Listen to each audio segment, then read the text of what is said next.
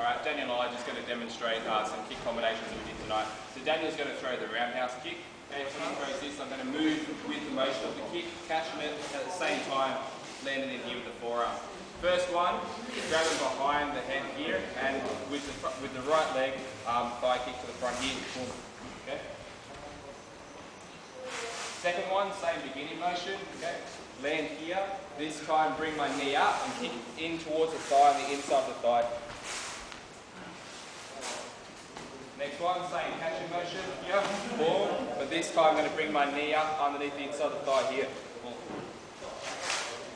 Last one is the takedown, the catch, here, boom. I'm going to slide in towards him, take the leg, and straight away look for the pass where I can finish